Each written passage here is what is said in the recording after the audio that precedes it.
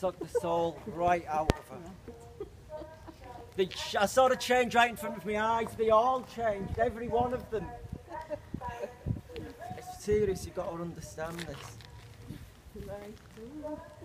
We call them the others, the ones that have no soul.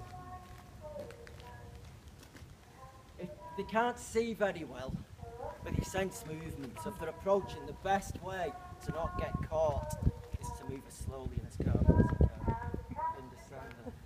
Don't let them touch you. Don't look in your eyes. Don't shine a light into their eyes.